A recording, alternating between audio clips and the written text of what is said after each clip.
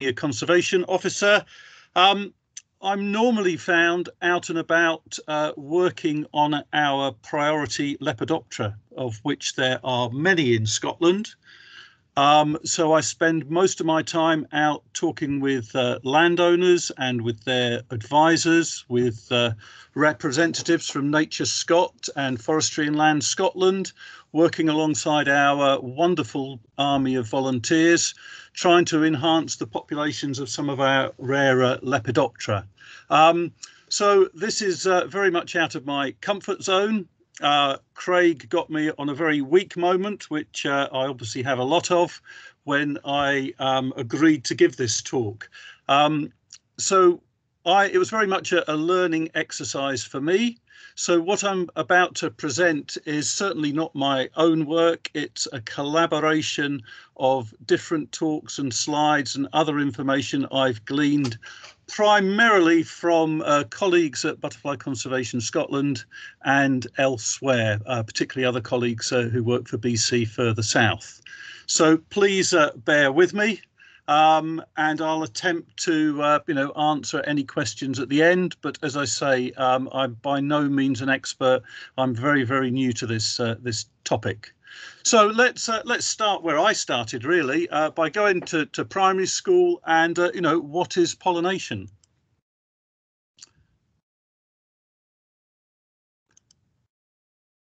Just bear with me. I'm clicking my mouse, but my slides are not moving along.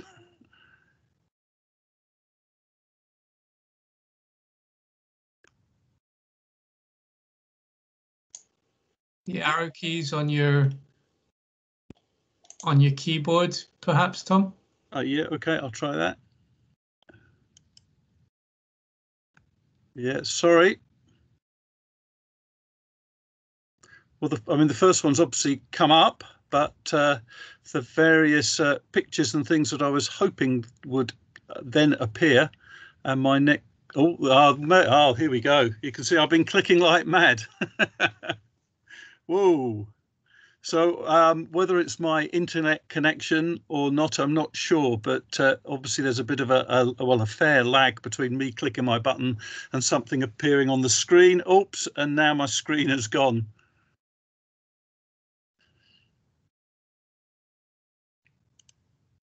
No, I'm, I'm, sorry about this, Craig, but uh, I can see now all the participants, but not my shared screen has gone. So I'll yeah. open it. I'll open it up again and share it. Yeah, there you go. Right, okay, so hopefully everybody can see that. I will click to the next slide and fingers crossed it will work. Yes, and again, right, okay. So yes, so let's go back to primary school and uh, pollination. Um, so for all flowering plants, um, the, because they can't move around, or most of them, um, they are reliant on reproducing by setting seed. And because they can't move, uh, the way they overcome that is to use pollen, which moves from the female part of the flower, or in some plants, the actual female flower, because some species have different uh, female flowers to male flowers and the um, the pollen goes from the male flower to the female flower. You can see there a uh, sort of microscopic image of uh, all the different or some of the different types of pollen. Um, uh, very, very amazing structures. Um, and the female then receives that pollen from the male and then seeds are produced. So a, a fairly simple process. Um, and obviously, the, the, the, main importance of this is that it increases the genetic diversity of the of the plants by this cross pollination, and uh, greater genetic diversity diversity is very important on the whole for healthier plants and those that are more able to adapt to our ever changing environmental conditions. So, a very very vital and important um, process. So how does the pollen, you know, travel from the the uh, the male to the female? Well, one way is uh, abiotic, which is a non-living non-living method. So this is reliant on things like water, but particularly by the wind. So if you take a lot of our evergreen trees, uh, things like Scots pine and larch, when they're in flower, if you brush against them, you get this dust. You can also see this on uh, on puddles and pools in amongst the sort of forestry tracks. And this is the pollen being uh, being dispersed by the male flowers in the hope that it will land on the female flowers. And obviously grass is, is uh, the, all the wonderful and numerous species of grasses are also all pollinated by the wind. And uh, sadly, because of this, those of us that suffer from hay fever, um, yes, we would rather not have um, abiotic pollination. Now, only 12% of all plants um, pollinate by this method. The vast majority of them use biotic, so they, they're using animals to pollinate. Now, in the tropics, then there's bats and lizards and uh, hummingbirds and other exotic animals. I'm not aware in Scotland anyway of any animals that are purposefully pollinating our plants, but I could be wrong. So most of the animals, or, or mammals or birds rather, most of the animals or all the animals in Scotland that are pollinating plants will be insects, um, particularly uh, bees, hoverflies, and as you'll find out later, uh, butterflies and moths. Now, if we go into a little bit more detail about pollination, again, it's like going back to uh, to school. Uh, the insects, in this case, the bumblebees, they're attracted to the flower. And the reason they're attracted to the flower is, well, numerous reasons. There'll be scent, there'll be the, the colour, but the main reason is that is the nectar. So the insects are attracted to the to the nectar of the plant to feed. In doing so, they then brush against the, the pollen on the stamens, and as they then fly from plant to plant, the sticky pollen, which adheres to certain parts of their bodies, is then brushed off on the female part of the next plant, and it therefore uh, then helps to pollinate the plant. So that that is how pollination works. So these are the types of species that we find in Scotland that are sort of generalists that are out there um, visiting flowers and by doing so uh, pollinating our plants. So the main pollinators are uh, honeybees and other bees in the bottom left, uh, bumblebees, and you can see the bumblebee the top left, completely covered in pollen. Uh, top right, we've got hoverflies. So these are all very important uh, pollinators. Um, and there in the middle, we have a, a wonderful old lady uh, moth, day-flying moth primarily, an orange tip butterfly, and to the right, a painted lady butterfly. So all these are generalist uh, pollinators. Um, they're there, they're maintaining our genetic diversity of plant populations. And the other key thing is that because these insects are all very mobile, they can move over, you know, reasonable distances. And in the case of species like painting, painted ladies, over considerable distances. And therefore they can share the, the, genetic material of the plants between otherwise isolated populations. So that's a really key important um, aspect of pollination by insects the fact that they can do it over a large scale uh, over over a sort of landscape if not if not further. Now there are a number of specialist uh, pollinators. I will mention a scottish one um, towards the end of my talk the probably one of the most famous ones is is the fig wasp um, which is here's its life history if we look at uh, uh, number one here. I don't know whether you can see my cursor on the on the screen here, but uh, as we go round this life cycle, here's the wasp, and what the wasp does, it goes into the figs. It go there's a tiny hole at the base of the fig, and it crawls into that. This is what the female uh, wasp does, and in doing so, its wings tend to fall off because the actual flowers of the fig are inside the plant. So the female wasp has crawled in, knocked her wings off, and she's then crawling around inside the plant, and then she's laying her eggs in in the um, um, inside the, the tiny flowers. These then hatch into the grubs. Their grubs then feed on the pollen and on the nectar. When the males then emerge, they then make a wee tunnel. You can see here a little tunnel that's made from the center of the fruit to the outside. It then crawls back in. They it then mates with its siblings and then when the female wasps then emerge, not all the some of the flowers will still be retained and won't have been eaten, and they still have pollen on them. And in doing so, and in trying to get out from the fig uh, fruit, the female carries the pollen, flies out of the fruit, and then goes then, having already mated inside the fruit, then flies off to another another fruit tree. And that's how the life cycle of the wasp, which is integral in the uh, pollination of the of the fig. So a really, really close relationship between the fig wasp and the fig. And another example, uh, a very famous example, is the Star of Bethlehem orchid, or known as Darwin's orchid.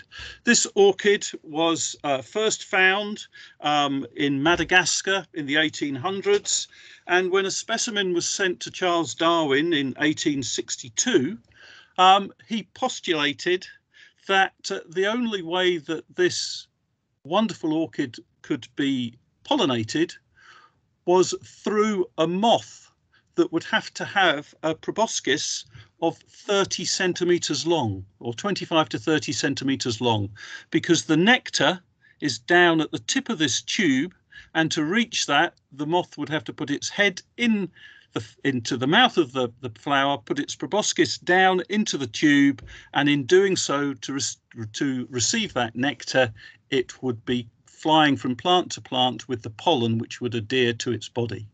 And lo and behold, uh, about 40 years later, the moth was found. Um, but it took another 90 years, really, so 130 years since Darwin proposed this theory for it actually to be proved that when it was found in 1992 that this particular moth, Xanthopan morgani, was actually um, watched and observed in the field nectaring and therefore upon and therefore pollinating uh, Darwin's um, Star of Bethlehem orchid. So again, a very, very close relationship between the plant and in this case, the moth.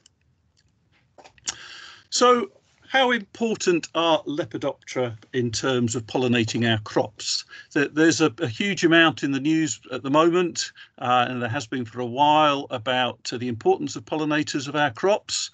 Well, um, yes, there it says it all. Leave it to the bees.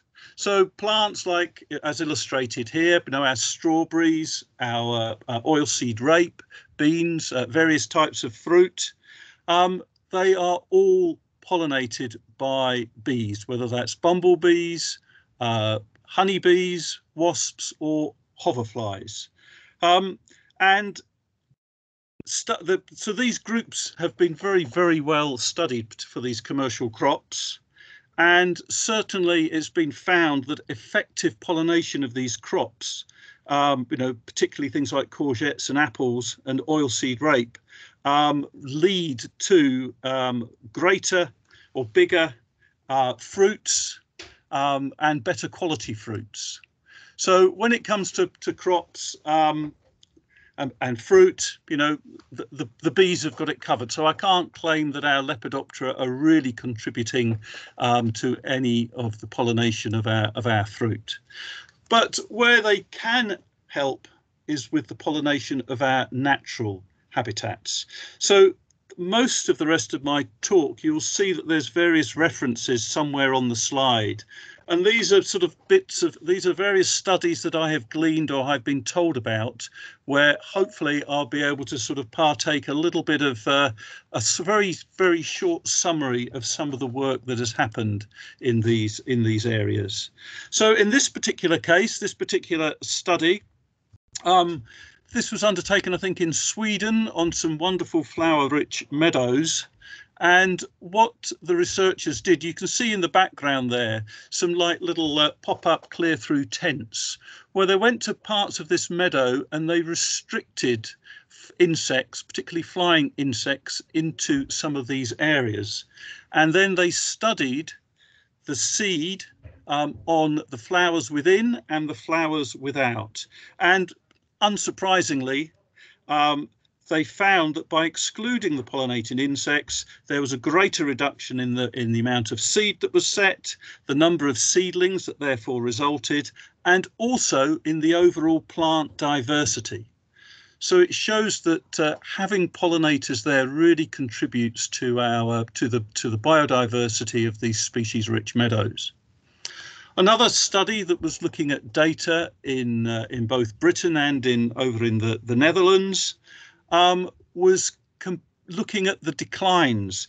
Sadly, a lot of our plants and a lot of our invertebrates are in quite dramatic decline. So, for instance, uh, if you take macro moths over the last 40 years, um, data from butterfly conservation has showed that two thirds of our common species, our common and, and formerly widespread species, are in decline. And this is particularly so in the southern half of, uh, of Britain. And what this study here found by looking at the declines in, in the pollinators and those plants that uh, require pollination, species that were self-pollinated, there was no real noticeable decline. Species that are pollinated abiotically, therefore by the by the wind or by water, um, had actually increased. But those that have been pollinated by insects, not only were the plants in decline, but so were their uh, associated pollinated insects. If we now go on to look a bit more closely at the pollination and uh, the, the quantity of pollen required, this is a study on this species of Dianthus by um, Bloch. And you can see this graph here. On the bottom of the graph, on the bottom scale, we have the number of pollen grains. And on the vertical axis, we have the number of the percentage of seed that is set.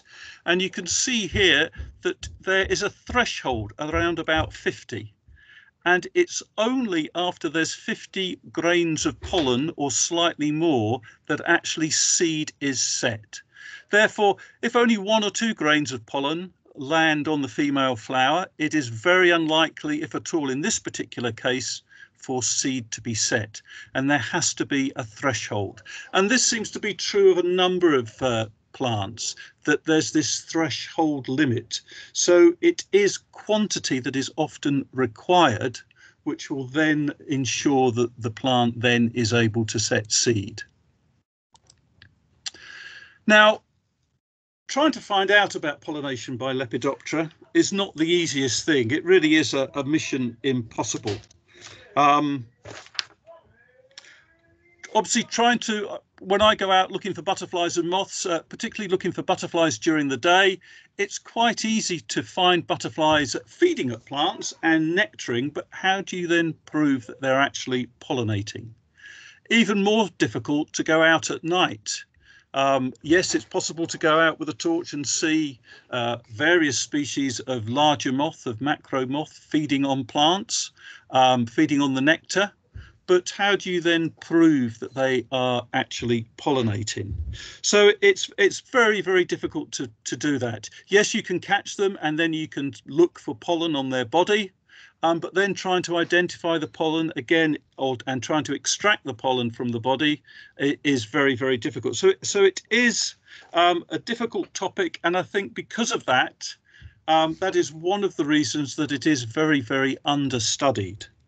Um, so there's been re relatively few studies on the role of Lepidoptera in pollination.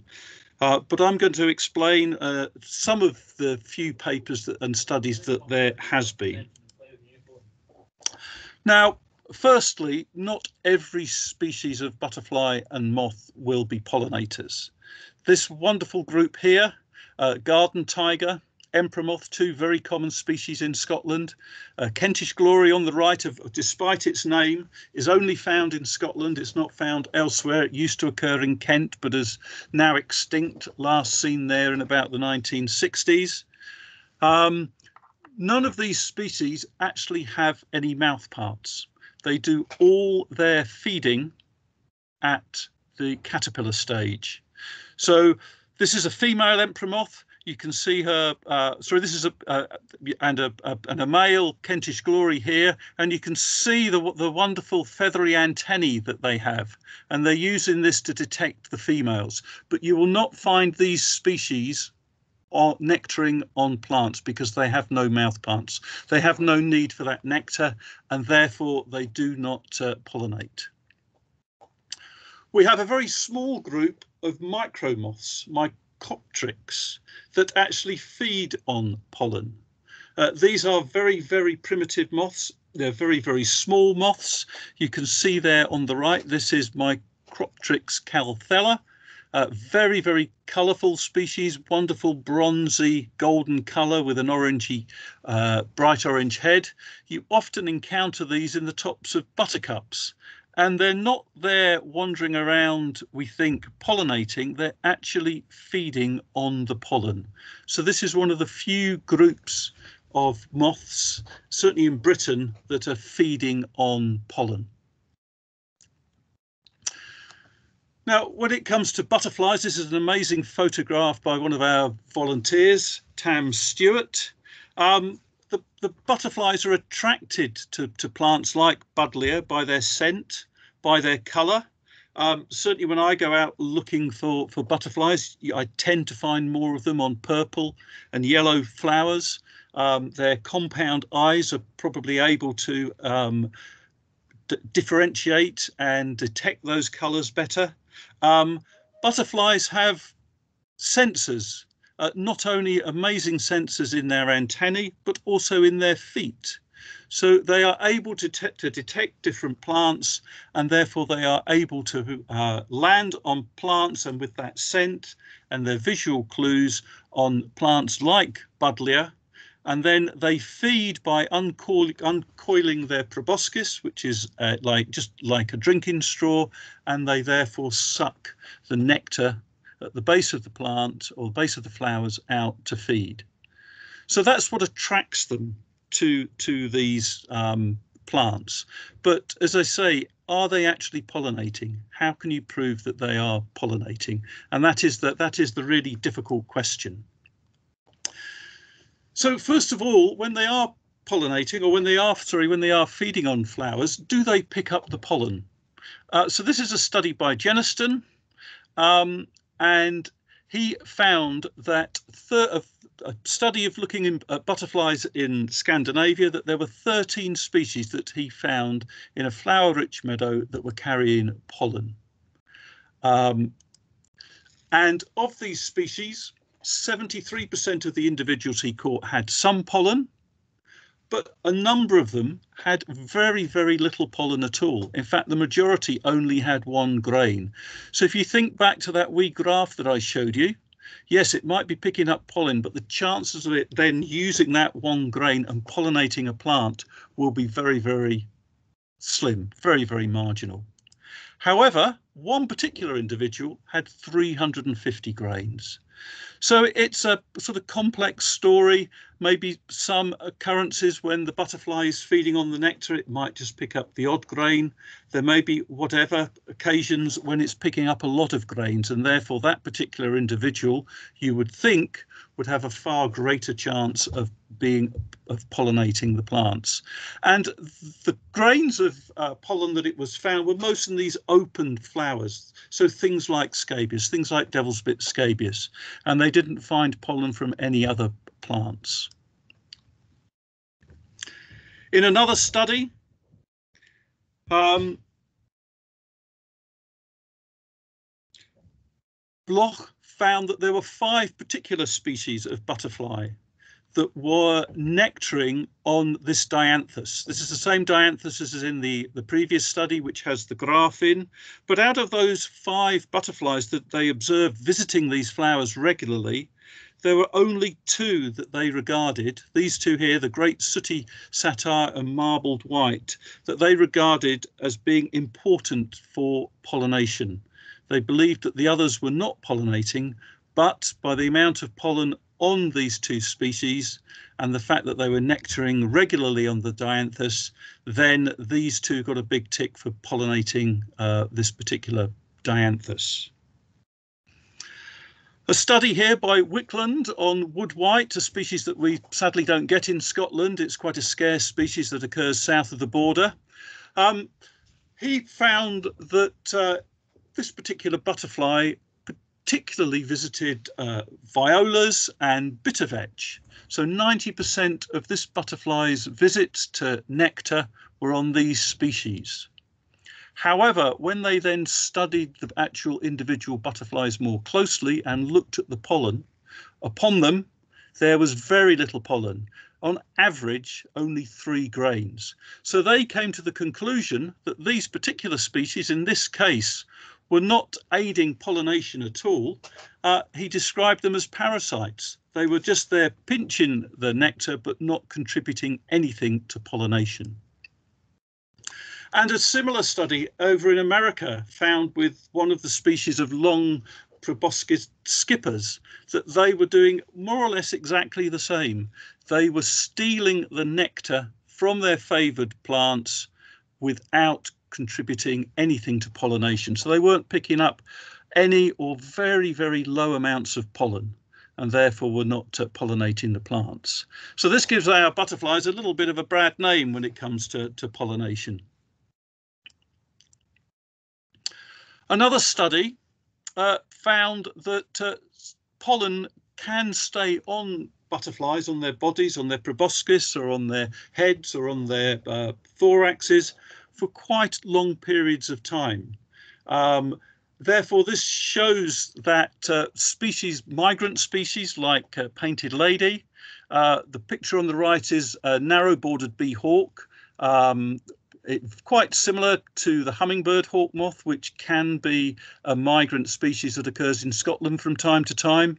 So, so butterflies that fly and moths that fly long distances can therefore move pollen over quite large areas from uh, plants species in one area to to others uh, further afield. So again, this could be very important in increasing that genetic diversity between the plant species, and the fact that the pollen is on the on the butterflies or moths for um, you know some period of time.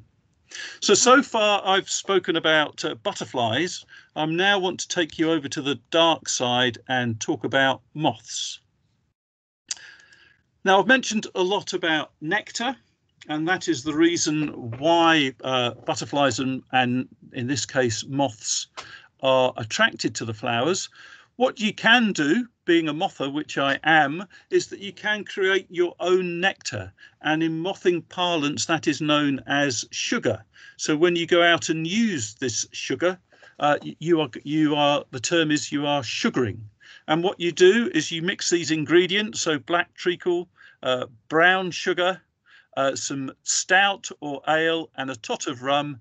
You mix it up and then with your paintbrush you paint it on uh, vertical surfaces so normally tree trunks. And it is amazing how the moths come and feed on that. So it is artificial nectar. It's very fickle. Sometimes it can work very very well other times, uh, even though the conditions would appear similar, it doesn't seem to work at all. And in terms of recording moths, you can see on the right hand side a number of uh, different coloured moths, um, lesser broad bordered yellow underwings and large yellow underwings and pink barred sallows. It tends to work more when in the autumn and again in the spring. And for some species like red swordgrass it, and its uh, scarcer cousin, the swordgrass, um, it is probably the best way to actually record these species. So, do moths carry pollen? So there's been a few studies, probably a handful of studies looking into this, um, with fairly mixed results. So Devoto was looking uh, just up the road actually from me here. I'm based at home in King Kingussie, so he was looking in the Caledonian pine woods And there he found very low numbers of moths had pollen. So it was a two year study and of in the first year, only 3% of those moths he caught and um, investigated had pollen and in the second year there were it was it was higher it was 10% so not a high proportion whereas McGregor who was looking in Oxford doing transects counter uh, catching moths he found a much higher percentage. So of the 609 moths that he caught and he observed closely he found 23% of those had pollen. Whereas in Portugal in a wonderful flower rich meadow, a much higher proportion of those moths. So 76% of 257 that were uh, caught and observed had pollen. So it seems to be a very mixed picture. Maybe it's due to the different habitats, maybe it's due to the abundance of nectar and therefore the abundance of pollen. Um, so it is a mixed picture between the species and between the habitats. Also, what we have to stress is although moths and butterflies might be found with pollen, it doesn't necessarily mean that they are actually pollinating. We come to a, a, very specific example here of the greater butterfly orchid. Uh, this is work done by uh, done in Scotland. Um, now, this wonderful uh, orchid, this wonderful uh, rare orchid, is another species that Darwin was interested in. And he speculated that this orchid, this greater butterfly orchid, was pollinated by large night flying moths. And he based his proposition on the fact that the flowers are white and they show up at night, particularly at dusk. They give off a scent, particularly at night rather than during the day, and that the nectar is at the base of the long spur, and that the only species that he thought would be able to get that nectar would be night flying moths.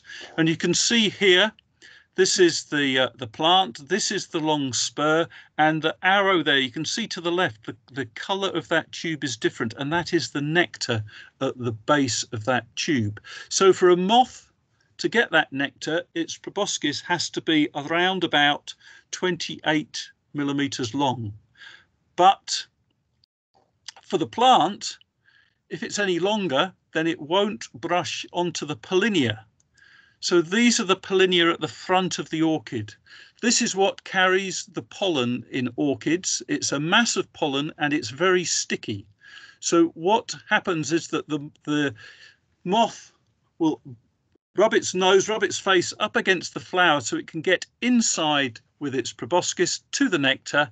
And then hopefully, as the flower is concerned, when the moth then flies away to another greater butterfly orchid, it is taking the pollinia with it. So because these are quite, these are very big, they're still a little bit difficult to see. It is relatively easy to uh, set moth traps and carefully go through the moths that you have caught and see whether there are any pollinia on the on the body, particularly on the faces of these moths. So this is a burnished brass um, a, a, fairly common species throughout Scotland, and you can see here that it's got two pollinia on it. Also, it's you're able to identify the species of orchid from the pollinia, so it's possible to say that this burnished brass has been pollinating a greater butterfly orchid. And this work that was done by uh, uh, Sexton in uh, central Scotland, you can see here the species that he found that had pollinia on them from uh, greater butterfly orchid. And they are mostly the they are the larger moths that most of them are um, in the, in a similar family. So gold spangle and beautiful golden Y, Lempke's gold spot, silver Y, gold spot, and plain golden Y, and spectacle and burnished brass are all Plusidae. So they're all in the same family. So they are obviously specializing in and have a sufficiently long proboscis to get the nectar from greater butterfly orchids and also pick up the pollinia. What's interesting is that large yellow underwing, which is a really, really common moth, probably one of our commonest moths in the summer, it was found with Pollinia, but compared to the number that would have been around, very, very few, a very small proportion only three of those that were caught were found to have the pollinia, whereas the gold spangle was found to be the, the main pollinator of this particular moth, of this particular orchid. So showing a strong relationship between the moths and this orchid. In another study uh, on the continent, uh, this time with the pyramidal orchid, um, you can see here, this is the pollinia that has been picked up by this particular moth. So again, it's a similar scenario. The moths will be going in with their proboscis, rubbing against the pollinia, and hopefully from the plant's point of view, going from flower to flower and spreading the pollen as it picks up the pollinia as it goes. So in this particular study, they found that there were 24 species of, uh, of butterfly and moth that um, had the pollinia uh, that they found pollinia on, and that was 20%, uh, 7% of the species that they then caught had the pollinia. So 24 species, but of those, only 27% of those they caught actually had pollinia. But of those, there were two main species that were found to be pollinating pyramidal orchid. So Zygaena minos, which we don't have in uh, Scotland, in fact we don't have in the UK, is very, very similar to transparent burnet, which is a very rare burnet moth that only occurs in the UK on the west of Scotland. Um, and black veined white, another species that we don't have in Scotland. So you'll you see there that out of those 24 species, these were the two main butterflies and moths that were pollinating pyramidal orchid. And 50% of all the Zygaena minos they caught had pollinia, whereas 21% of the black veined white did. The other thing that they did is mark release recapture. Now this is a method that can be used uh, to used to look at the dispersal of butterflies and moths as well as trying to estimate population size. So you can mark with uh, with paint or with indelible markers. You can carefully mark moths and butterflies on the wing. You can do it in a way that you can mark them individually. And what you do is that you go and capture a, a number of them, you mark them, and then you go back a number of days later and then you try and recatch them. And you can therefore see because they've been marked individually you can see how far they have moved. So they did this with the these particular two species that were the main pollinators of um, the pyramidal orchid. And what they found was that the the zygaena hardly moved at all. So the burnet moth literally just moved sort of tens of meters. Whereas the black veined white moved over far greater distances. And the, the furthest that one travelled was six kilometres, but on average they travelled 300 metres. So that shows how these species are moving around the landscape and pollinating and adding to that genetic diversity uh, over quite a large scale. I mean, six kilometres is quite a distance for a butterfly to travel. So it's adding to that genetic uh, diversity of the plant species. Another orchid, a small white orchid, a very small orchid.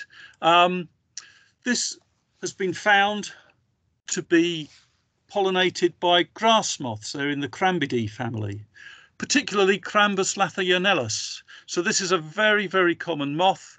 Uh, there's this is a group, the grass moth is a group uh, of which maybe half a dozen of them are probably one of the commonest moths in Scotland. Um, that you'll see them if you walk through any long grass in the summer. Clouds of small pale moths will get up amongst your feet, and virtually all of those will be uh, Crambidae, uh, grass moths. And this particular species is one of the ones that comes out quite early. It's relatively easy to identify because it has this wonderful uh, go faster stripe down its body that's got a slight fork in it. And it was this common species of moth, Crambus lathoniellus, that was responsible, along with a few very small flies, for pollinating small white orchid. So when it comes to the to the night shift, um, recent studies, I mean, this is very fresh off the press. Recent studies by Walton and his colleagues, you can see there, has shown that um, the networks of moths pollinating is very, very complex, far more complex than bees. And he found that 45% of moths that they caught were, had pollen on them from 40, and these came from 47 different species of plant. And a lot of these plants were not visited by the usual suspect pollinators of bees and, and hoverflies, and therefore moths would be very, very important pollinators of those specific uh, plants. Now, most of the studies have found that the pollen has been taken, uh, adhered to the butterfly or moth on the head or on the proboscis. But this work by Funamoto in Japan actually found that the very hairy bodies of moths collected vast amounts of pollen. So as they're going into the into the flower to get the nectar, a lot of pollen, probably very similar to the bumblebee photograph I showed you, and that the hairy bodies are important at picking up the pollen and then spread it, spreading it from plant to plant, and therefore presumably aiding pollination. So I think the key message here is that uh, moths, yes, butterflies and moths may not be the most important pollinators, certainly not when it comes to crops, but uh, you know, at night they are vastly important and they really help keep the diverse populations of um, plants. Um, they add to that, they ensure that that diverse community is still there and keeping its abundance. So hopefully it's been a bit of a, uh, a bit of a whiz through some of the studies. Um, it shows in many respects how little work has been done on the pollination of our wonderful butterflies and moths, um, shows how much more there is to be done. Um, hopefully I've explained some of the specialist roles, that co-evolution between specific uh, plants and their, their pollinator. And I think now we're beginning to realize how important, particularly moths, can be at pollinating our native plants. But there's far more studies to be done. And I think this is probably just the start of that understanding. So um, I'm happy if I can to try and answer any questions. Thank you very much for listening. Um, and if you want to know more about butterfly conservation, you'll see uh, there's our website at the top of the page. I'll stop presenting.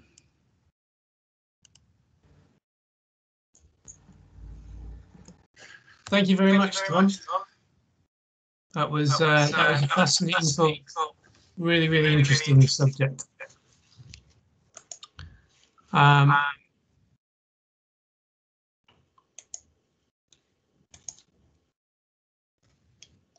I'm just having a look at the uh, conversation. Uh, we've not got any questions come through as yet, but there's certainly a few points that I was particularly interested in that you raised that I'd like to ask you a little bit more about. Um, if you can, if you wouldn't mind. Um, if anybody else does have any questions, then feel free to fire them through on the conversation or raise your hands. Um, but I'd be interested. Um, I mean, one one point that you made, Tom, towards the end, uh, particularly is the the the you know the lack of research, the fact that so little is still known, and the reason that I discussed this subject with you in the first place was because it was something I was particularly interested in um, knowing more about, and I guess I didn't really fully appreciate how little had been done into this particular subject. So um, from that sense, it is very interesting to to hear, you know, from your research um, and and summary of the literature that is out there so far, um, how little is understood and and you know how much is is still to be done. The the particular report that you made reference to um, at the end, the paper that you made reference to in 2020, um, I found particularly interesting. 45% of moths tested um, were transporting pollen and 47 different plants, many of which weren't visited by other pollinators. Uh, that that is a particularly interesting statistic in in the fact that they're um, adding adding effort to adding pollination effort to uh, the biodiversity, the overall biodiversity of the ecosystem in in ways that other pollinating insects aren't doing. Um, so they they obviously are playing a role, however um, uh, small that role may be. But uh, yeah, I, would be interested to to look that paper up. Actually, I will have a look for it. Um, yeah, well, I'm I'm happy to provide those that want uh, the the references that I've found. I've not got full references for all of them, but um, I, I have got you know uh, full references for some. Yeah, yeah. Well, um, Tom, if if you wouldn't mind sending me through whatever references you do have, and then I'd be quite happy to share that information with uh, those um, in attendance uh, at a later date. I'd be I'd be quite happy to do that if um, if you were able to. Uh, yeah, no, certainly, and and I think as you're saying that it, it's good from that study to show that that moths have uh, an play an important role in pollination because I think to many people they're just seen as uh, bat food or bird food. Yeah, yeah. Um, there are a few questions coming in, Tom. Um, so I'll go through. Hang on, bear with me one moment. Uh, so a question from Rebecca Lewis. What's the most important step a community can take to ensure pollinators survive? Uh, well, uh, well, I think it, it's growing native plants, so native flowers, so a species-rich meadow um, you know, which will attract. Well, it will it will do a, number of things. You know, it will provide nectar, so it will, it will provide food for pollinating insects. It will attract them in, but also they they will be, if they're native plants, they will be uh, food plants of the early stages of butterflies and moths and other insects. So I think it's going native. Um, certainly, when it comes to planning where these areas are, then having them in shelter. Certainly in Scotland, it's very important to try and get them in sunny, sheltered locations. Ideally, make sure that they're linked together and also ensure that they're properly managed. It's quite easy to go and sow a few wildflower seeds and get them established but then it's that constant management that can be very difficult because a lot of these species like uh, low levels of um, sort of fertilizer and if sites are too enriched then other weeds and thicker grasses come in. Um, and also if it is a community uh, site and it's close to the council road verges or green areas, then uh, try and prevent them from cutting them, uh, you know, several times a year, so that they probably require one or two cuts a year, and ideally take the cuttings off so that they're not adding to the, uh, they're not nutrifying the, the site. Yeah, I, I, I, just add to that that there are a lot of resources available through both the Buglife and Butterfly Conservation websites relating to the creation of wildflower meadows and uh, and wildlife friendly management of areas like um, allotments and community gardens and that sort of thing. So uh, if you are keen to um, to uh, you know, promote pollination, insect pollination particularly, then um, have a look at the, the Buglife and Butterfly Conservation websites and um, see if you can locate some of those resources. Um, a question from Nobin Ram. Uh, in the comparison of the three studies, do you know why Devoto's study has only shown 3 to 10% of moths carrying pollen in Scotland? Was it because of the difference in Scottish habitat compared to the Portuguese? Uh, yes, to be honest, I don't know, but I suspect that probably is one of the reasons. Um, you know, our, our, pine woods are wonderful habitats, um, uh, but the the number of plants beneath them, it, on the whole, is fairly limited.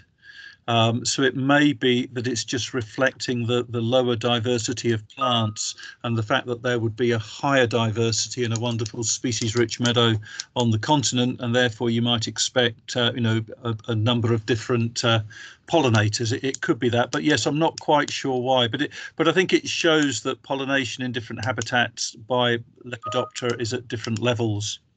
So there's not one sort of one size fits all, as it were. Yeah, there, there was a there was a notable difference, but also a notable difference in the three habitats, wasn't there? So that that habitat in Portugal, obviously, with an abundance of wildflowers in that meadow, um, there there was more pollen around. So you're bound to find a bit more pollen on the on the moths, aren't you?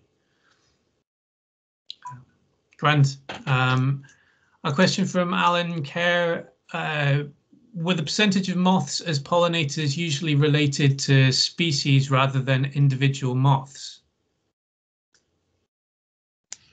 Uh, I think it, I think it was in some cases it was individual moths. So when species were found, it was then you know that the percentage given was the percentage of that of individuals of that species that were found to be carrying pollen. Okay. Uh, I'm just scrolling through the chat. There are a, a, lot of people are saying excellent, excellent talk. Thank you, Tom. Um, uh, Jamie Wildman, a question has come through.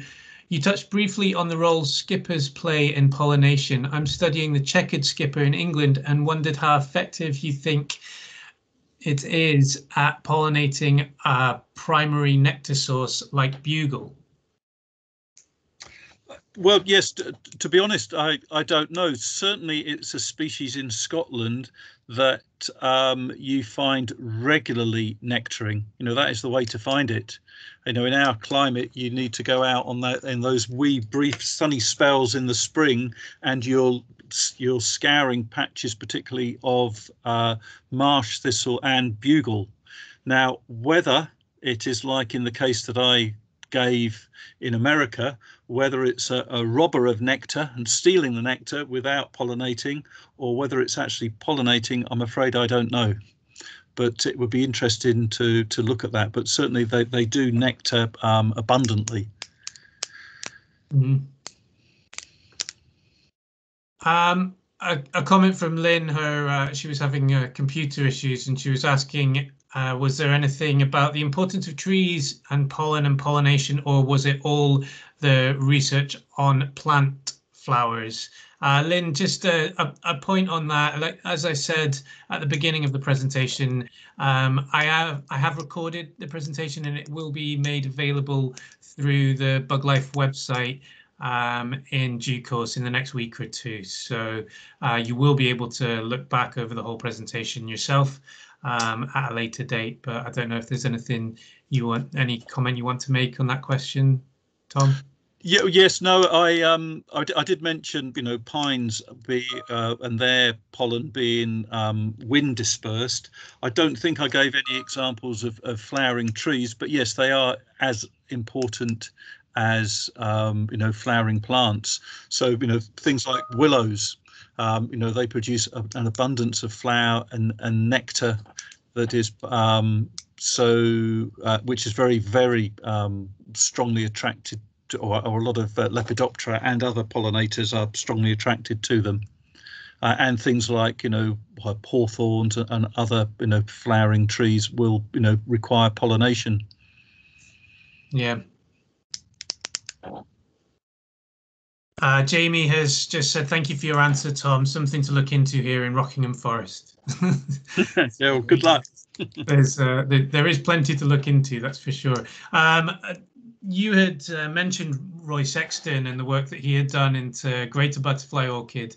Um, I, I, spent some time working at Loch Leven, and I know that Roy had taken a great interest in the lesser butterfly orchid um, that we had growing on the site here and wondered whether or not Roy had actually published any of the research um, that he had conducted whilst visiting Loch Leven. I don't know whether there was any reference to lesser butterfly orchid in his studies or if it was exclusively greater butterfly orchid that you had been referring to.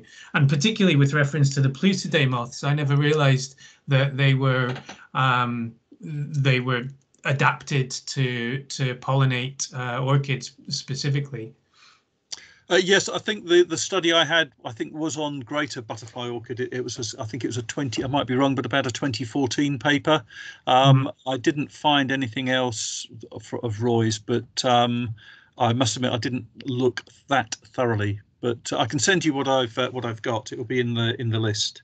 Yeah, yeah. I'd be, I'd just be into. I never, I never found out whether or not because uh, I left Loch Leven a, a while ago now, around about 2014 as it happens. But um, I never found out whether or not any of the research came to anything um, that he had been uh, looking into and, the lesser butterfly orchid anyway. So yeah, it'd be interesting to, to I know I know a few people that know Roy anyway, so um, I'll be able to find out uh, whether any more has come of that. But uh, grand. And yeah, in, in in relation to that, the uh, the Star of Bethlehem orchid, I found that fascinating. That was that was really interesting. Um, Oh, I am uh, sorry, Jennifer. I've just seen another comment has come through. Would you be able to share the links you mentioned earlier, Craig? I, uh, Tom, before you arrived, I had said that I was going to share a couple of links um, for uh, people, and they were for uh, the Buglife events page and uh, the Scottish Invertebrate News. So if you don't mind.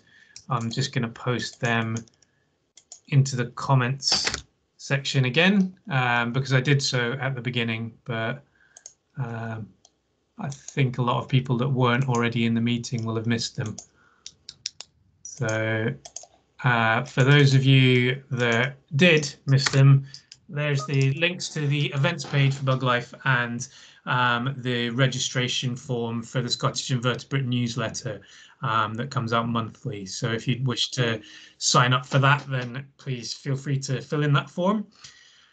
Um, I'm going to be emailing a, a, feedback questionnaire, a very short questionnaire, just a few questions um, uh, at the end of this uh, this this presentation. So if you wouldn't mind filling that out and sending it back, that would be fantastic. Um, I do have another question that's come in, Tom. Uh, slight diversion. Do you know where I can find information on wasps pollination? um, yeah, I'm afraid not. I, I was just yes looking really for Lepidoptera. I, I didn't, uh, apart from you know the um, fig wasp. I didn't really find anything else, but I wasn't really looking. I just sadly ignored uh, any other pollinators. Yeah, yeah, I mean, there, there's there's a lot of information on the Buglife website um, about pollination in general, and uh, you know there there is some information on um, wasps, but uh, specific wasp pollination, you would need to um, delve into some research uh, yourself and see what you can dig up. I would think, as as Tom had to do um, with this this challenging topic that I presented him with. um, another another comment has come in from Nobin. Um, thank you for answering that. As a student, which, uh, which field, e.g., zoology, and anthropology, biology, etc., could be the best to start a career in areas currently not fully understood in moths? Wow. Yes. Any. um, I mean, I suppose my bias is is more sort of species focused. You know, I, I work on a, a, lot of our rare species, and even just the fundamentals of what they do and their food plants and the um, intricacies of their their life histories is really poorly known. So when I'm trying to sort of give advice to to farmers and landowners, it's really on a on a gut feeling rather than any science. So we do try to encourage, you know, um, students to take on some of our, our projects um, so that, that we can find out more about uh, you know some of our higher priority species that are in most urgent need of um, you know conservation. So I don't know whether I answered it, but uh, the question no, I, on I, I think that's a that's a very good point, and the the one of the reasons I find the the topic so fascinating is that a lot of it is based on assumptions, and you know we see butterflies, we see particular insects visiting particular flowers, and therefore assume that they play a major role in pollination. And and I think what um, you've highlighted in, in your presentation is that a lot more needs to be done. A lot more needs to, you know, we need to study it in, in a great deal more detail uh, before we fully understand rather than making these assumptions that, that I guess many people already have made. Um, yeah, I think the, the genealogy and the reference that you made to um, genetic diversity of uh, various species of plant, I think that plays a, a key role in in in the insect pollination and well the role of insects in pollination and um, ensuring uh, continued genetic diversity of many plants is, is seems to me to be very important. Um, so yeah, I think that's a that's a very interesting subject that more research could be done into. Grant, um, it looks to me that that's all of our questions answered for now, Tom. Um, I'm happy to forward any further questions that any anybody that's uh, um, any attendees have um, for you. If anybody else wishes to ask any questions, feel free to email me directly. Like I said at the beginning of the presentation as well, please let me know if you've had any difficulties accessing the, the talk itself or registering for the talk. I'd be interested to know just so that I can improve uh, the, the future workshops and presentations that I'm going to be organising.